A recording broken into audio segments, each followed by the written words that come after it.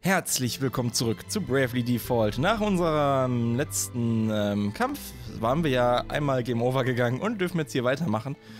Ja, so kann es passieren, so schnell kann es gehen und genau an der gleichen Stelle kriegen wir nochmal einen Kampf. Ich hoffe nicht mit den gleichen Monstern. Doch, natürlich, ja. Wir haben ja gelernt, wir können es jetzt nochmal versuchen, ob wir diesen Bestien auch mal standhalten können. Das machen wir jetzt auch. Wir versuchen das mal. Und zwar hauen wir jetzt erstmal den Luftlaternen auf den Sack. Denn die waren ja schon sehr arg nervig. So. Sie kann, weil sie so spät angreift, schon mal einen Vita raushauen. Und du haust mal ein Eis raus, weil Blitz hat ja nicht so geholfen. Eis ist auch nicht deren Schwäche. Was ist denn deren Schwäche? Solange die nicht alle einen Schlummer raushauen, geht das ja noch. Und wir sehen, wir machen den Windlaternen keinen Schaden. Deswegen werde ich wohl mal anders angreifen müssen. Dann werde ich die Gargoyles jetzt angreifen. Du kannst nochmal ein Vita raushauen, weil das hat sich ja gelohnt. Und dann machst du mal Feuer. Feuer ist deren Schwachpunkt. Okay, das ist schon mal gut zu wissen. Dann zauber ich Feuer gleich einzeln auf eine Windlaterne. Oder Luftlaterne heißen die. Und das macht dann nämlich mehr Schaden. Wenn man den einzeln zaubert, dann haben wir vielleicht gleich mal eine los. Na, außer er schlummert und heilt die mal eben wieder komplett voll. Das ist am Anfang auch so eine Sache, dass deren Heilzauber die halt einfach komplett voll zaubern. Ähm. Ja, machen Vita.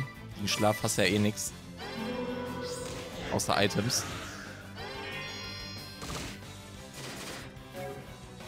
Gut, der Kampf wird ein bisschen länger dauern. Könnte Ringelbill mal wieder aufwachen? Könnte der mal einen Schlag abkriegen von jemandem? Wird er aber auch nie angegriffen, ne? Ist total ekelhaft. Hat Agnes nicht Vita gezaubert? Habe ich nicht Vita gezaubert mit Agnes? Das ist natürlich dumm. ah. Vita. Und heil mal den Dings, ey. Nicht Stille. Habe ich keine weg, doch, habe ich. Und heil ihn mal von dem Schlaf. Ach, jetzt ist er daher. Toll. Toll. Weißt du? Ah, sowas hasse ich. Die ganze Zeit greifen sie ihn nicht an. Dann heilt sie ihn. Und dann kriegt er auf den Sack. Mann, nicht Flucht. Phönixfeder, Idia, Fähigkeit, Weiß Magie Vita, Schwarzmagie Feuer, Luftlaterne, Attacke. Mein Gott, ey. Jetzt hört doch auf zu heilen. Wisst ihr? Ah, ich hasse das. Wir machen den keinen Schaden. So. Stopp. Auf ihn. Der immer Schlummer zaubert. Auch auf ihn. Jetzt gehe ich da wieder voll YOLO und hier nicht. So. So, einer weg. Sehr gut. Nein, nicht auf die... Das ist doof, dass die random angreifen, sobald deren Ziel tot ist. Also das ist ein bisschen doof. Sobald deren Ziel halt weg ist, wird random angegriffen. Und das ist nicht immer von... Äh, nicht immer die beste Entscheidung, die sie da treffen. Manchmal kann man Glück haben. Aber meistens ist halt auch sehr viel Pech dabei. So, Feuerattacke. Könnte dieses Luftding mal sterben? Gut, dass ich zweimal Vita gemacht habe. Stopp, mach nochmal ein Vita hinterher. Und du nochmal ein Feuer. Oh, endlich ist eins weg. Gut, dann haben wir schon mal gute Chancen jetzt zu gewinnen. Das ist ja schlimm gewesen jetzt. So, Gargoyle-Attacke voll, voll drauf, weil jetzt können wir es uns leisten. Jetzt haben wir nicht mehr so viel Gegenwehr. So, meine Fresse. Jetzt musste ich halt ein bisschen vorsichtiger dagegen angehen. Mein Gott. Ah, schön. Läuft doch. So, und jetzt ihn. Danke. Ah, es gibt wenigstens auch gut Punkte. Ah. Und Hilfsfähigkeit beidhändig gelernt. Das ist sehr gut, die werden wir auch sofort geben. Denn mit beidhändig ist es besser, wenn man eine Waffe in beiden Händen hält. Und das tut man mit dem Schwert. Äh, Fähigkeit beidhändig. So, jetzt macht sie auch mit ihrem Schwert mehr Schaden, wenn ich mich nicht täusche. Jetzt müssen wir aber Optimum den wegnehmen. Jetzt macht sie mehr Schaden mit dem Schwert. Weil, wie man unten in der Grafik schon sieht, hält sie den mit zwei Schwer äh, Schwertern. Mhm. Zwei Händen den Isinokami. So.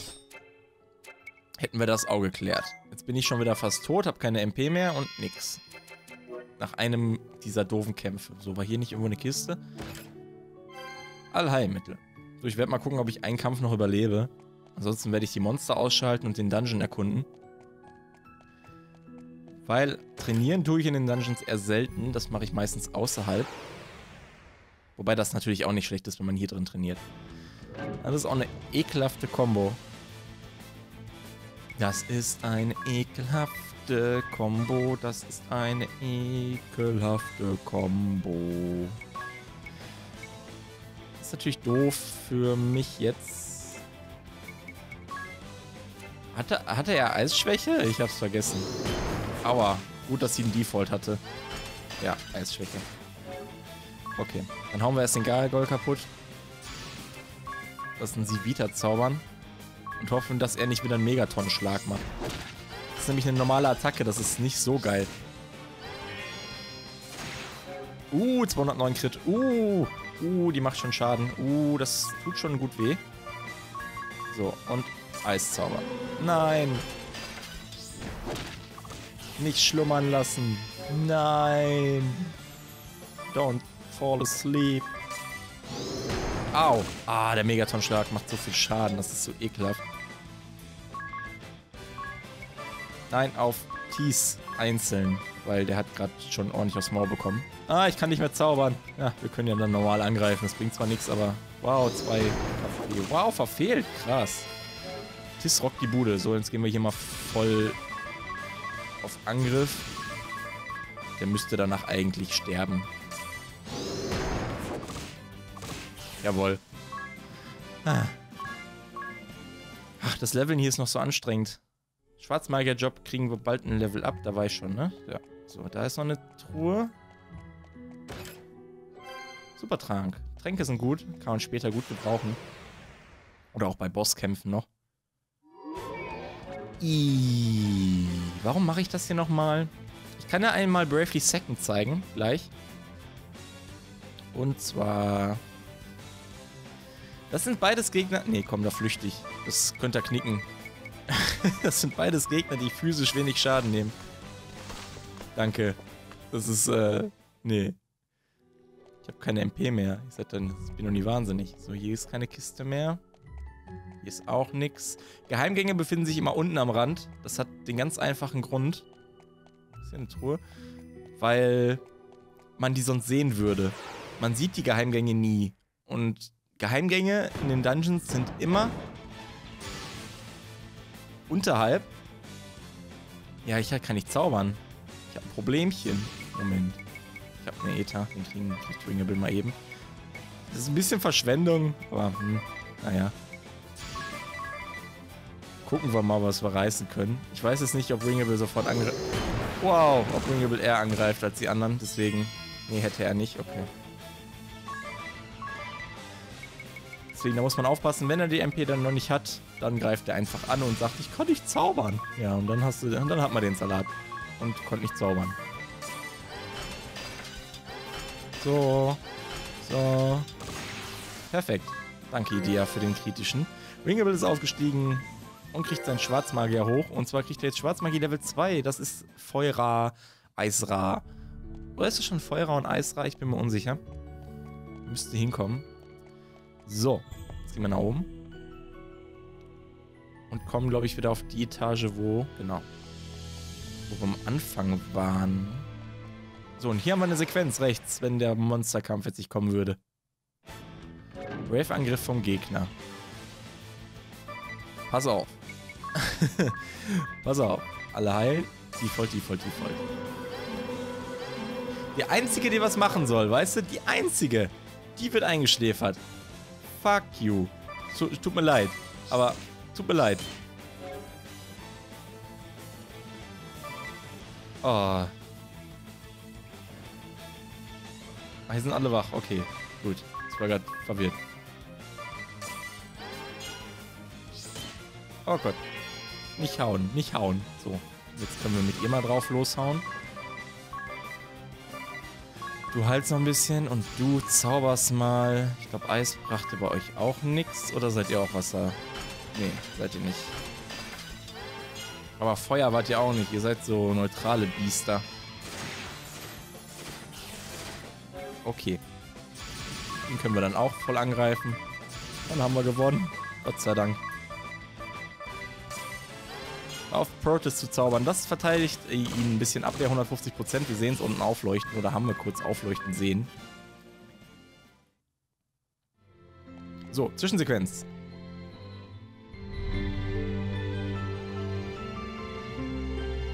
This is terrible. It's like a storm swept through in the middle of supper. What are these scraps of cloth? Habits. Huh? I'm so sorry. They belonged to the acolytes who lived here. They were tasked with looking after me. I owe them all so much. Where have they gone?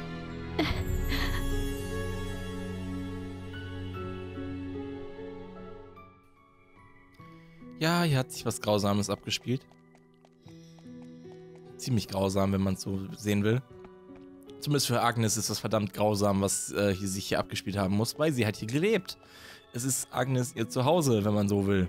Sie hat hier Ewigkeiten gelebt und wurde behütet von den Priesterinnen. Und boah, diese Gegner, ne? Ich kann die nicht mehr sehen. Das ist ätzend.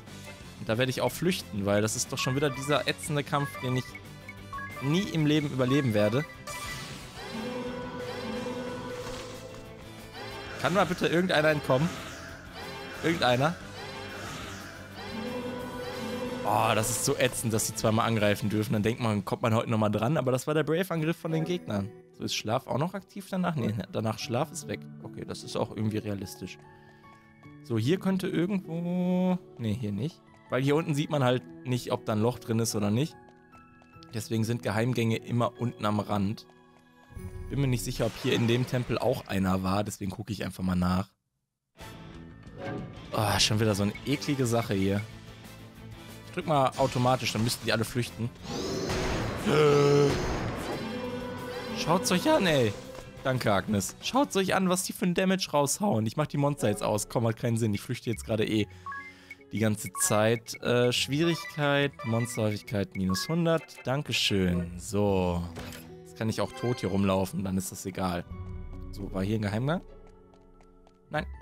Okay. Können wir uns hier die Sequenzen angucken, die ganze Karte hier drin aufdecken und die Kisten öffnen. Denn bevor ich weitergehe in diesen Dungeon, bis es zu, bis es ernst wird, sag ich mal, werde ich eh nochmal rausgehen und in die Stadt. Und da oben sehen wir eine Person, die auch eine kleine Wichtigkeit darstellt, die sich aber uns jetzt noch nicht erschließen wird. Denn wenn wir mit der Person reden, werden wir jetzt nur abgewiesen. Oh, euch fehlen die Voraussetzungen. Jetzt habt ihr mich ganz umsonst aufgescheucht. Los, ab mit euch, husch. Ja. Was es mit dieser Eule auf sich hat, werden wir später noch erfahren. Aber wir sollten uns merken, dass sie hier steht und wir haben eine Misril-Route. Das heißt, ein Magier kann jetzt die Misril-Route mitnehmen. Ja, und dass die Magier Stäbe jetzt mit Messer kombinieren, lassen wir einfach mal so stehen. Die greifen mir eh nie physisch an, weil die machen keinen Schaden. So. Gut, da oben haben wir noch eine Zwischensequenz. Just awful. It's in complete chaos. yet swallowed up in silence. And in that stillness, grief. This place is steeped in sadness. The women here made themselves a human shield that I might get away. And now, all of them gone. It's Norende all over again. Yet I haven't the leisure to send them on or to mourn them. I'm not allowed even the luxury of grief. They sacrificed themselves that I might protect the crystal.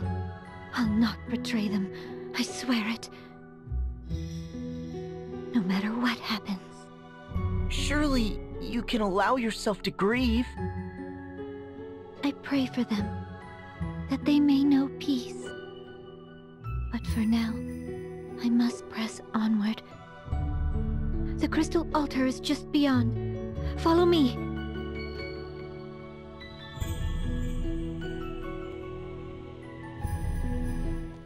Jo. Was ist das hier? Ach so, genau. Das ist der Shortcut, damit wir nicht mehr durch den ganzen äh, Dungeon rennen müssen. Denn jetzt haben wir hier einen Shortcut zum Anfang. Denn da ist der Eingang und wir mussten vorher hier lang, weil die Tür zu war. So, und jetzt können wir einfach den langen Gang hier entlang und kommen dann direkt zum Altar. Der Miskeldolch, da gucken wir doch mal, ob wir dem einen geben können. Ihr nicht? Äh, ja, nee, er hat gerade Schlagwaffen und... Ja, komm, jetzt es ist egal, was die für Waffen tragen, aber... Naja. Gut, da gehen wir nicht rein. Wir werden das jetzt eben mal abspeichern, dass wir hier waren.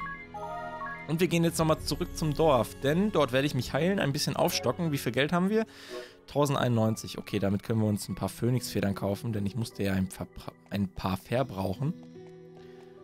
So. Deswegen gehen wir jetzt erstmal zurück ins Dorf, heilen uns im Inn. Und ich frage mich echt, ob ich das gerade richtig mache. Die Zwischensequenz hätte ich doch schon gerne.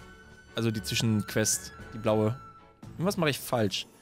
Was ich damals instinktiv richtig gemacht habe, weil damals hat das eigentlich alles sofort geklappt, als ich das privat gespielt habe. So, einmal heilen. Wir haben einen, einen Kampfunfähigen zu verzeichnen. Und ich kann mal oben gucken, bevor ich mein ganzes Geld raushau, was die an Magie verkaufen, weil in jeder Stadt wird andere Magie verkauft. So, Phönixfedern brauche ich auf jeden Fall, sag ich mal, sieben Stück. Ähm, Tränkeheil 150, da reicht erstmal für uns. So, und jetzt kann ich mir noch, glaube ich, zwei Zauber kaufen, wenn die auch 200 Gold kosten. Sag einfach mal Gold. Hi. Ja da, hier ist der Zuschauer verboten. Sofort umkehren. Ja, das wird später auch noch wichtig. 400, verdammt. Okay, wir brauchen aber... Die können wir noch nicht haben, also die brauchen wir noch nicht. Das sind Zauber, die wir noch nicht ausführen können. Das ist Schwarzmagie. Wir gucken mal. Toxin ist ganz gut, denn man kann einige Gech Gegner, Gegner auch äh, vergiften. So. Ja. Damit hätte ich, glaube ich, alles Wichtige.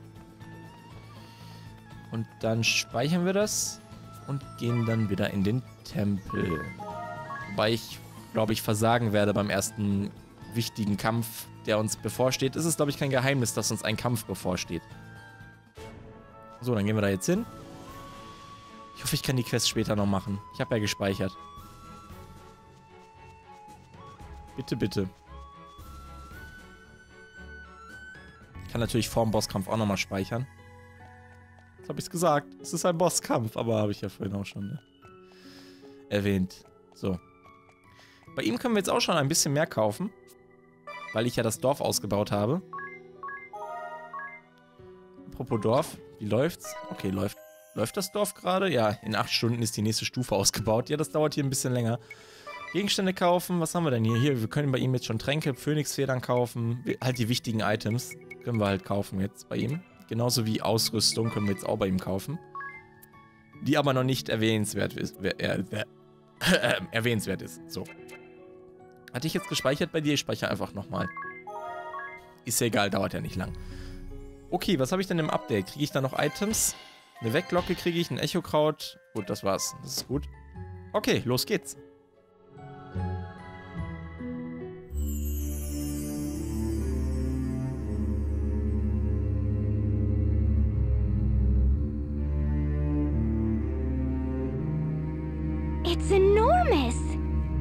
Even hearing the stories, I'd never expect it.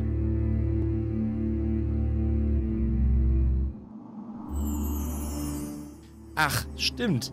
Jetzt kommt noch gar kein Kampf. Denn wir brauchen noch was. Ach, ich bin doch ein Held. Ich spoilere alles. No! Its light is dimmer still than when I left. I've watched over the crystal all my life, but this... I've never seen this. We need to release it from the darkness. Agnes, you know what to do, don't you? The Mother Vestal, my predecessor, showed me as a child. A right to cleanse the crystal of any evil to befall it. And to sharpen my focus to a single point and align my breathing to the thrum of the crystal's natural rhythm. Every Vestal to come before me has poured her prayers into the crystal. The time has come to draw upon that store of will and awaken it. You do your office proud. Now for the final step. The Vestal garb. Right.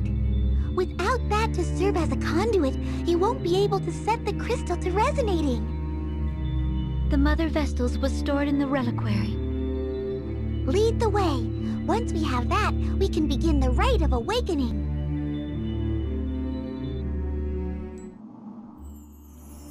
Brauchen noch die Vestalinnenrobe, die gerade erwähnt, um dieses Ritual zu vollführen. Wir stehen noch auf Autokämpfen, das mache ich mal aus. So. Die holen wir uns jetzt. Die müsste hier drin liegen.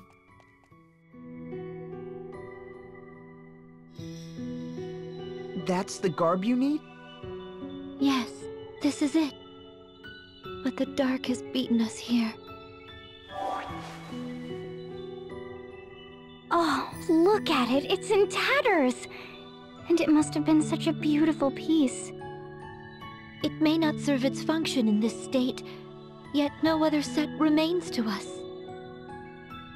What now then? We can't perform the rite without it. Why not give it a try as is? Even without its sacred power, the frock is deliciously holy. Stop talking, Ring a Bell.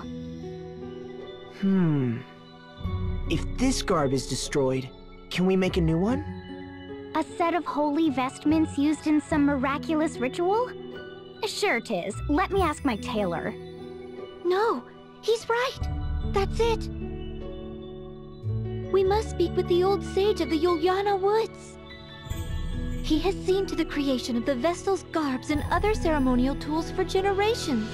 There's no finer craftsman. I met him only once, as a small child together with the Mother Vestal. More than a decade has passed. I cannot say whether he is still there or even alive, but But if he can make us a new set of vestments, why are we still standing around talking? I've never heard of these woods. Where are they? How will we get there? I recall the forest being uncommonly dense. Also, there was a lake. If it's large enough to float a ship, I'll land us there. Now, what of the ladies of Juliana? Are there many ladies? Ignore him. Can we be certain this lake hasn't rotted through like the oceans? That's not how I fancy ending my life. Well, what does Ringabel's journal have to say on the matter? Let's have a look. Ah, here we are. Juliana, yes. The hidden heart of an ancient wood, northeast of Ansheim. Given the book's owner, I half expected some note about the lack of women there. Women or no, that's our next destination. Indeed, but since we're going, let's hope for ladies.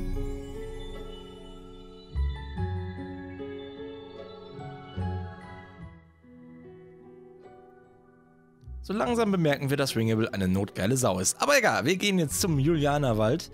Das mit Ringable und den Ladies wird übrigens noch sehr gut ausgebaut in dem Spiel. Freut euch dort auf einige nette Konversationen.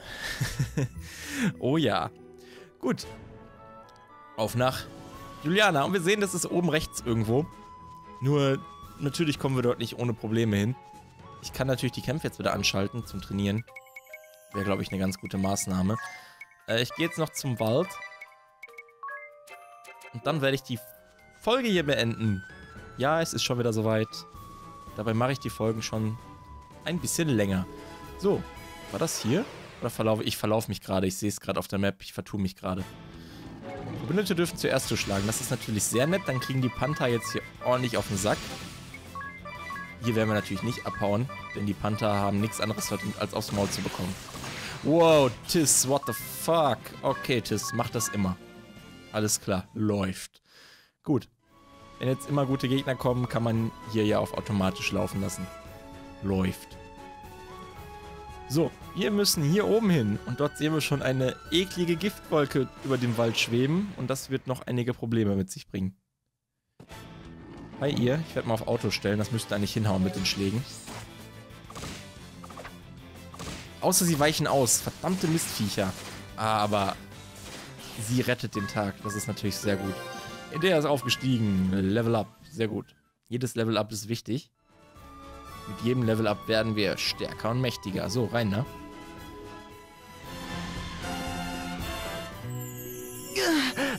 It's too thick. press any deeper and it'll crush our lungs. We'll not make it through these woods without some better plan.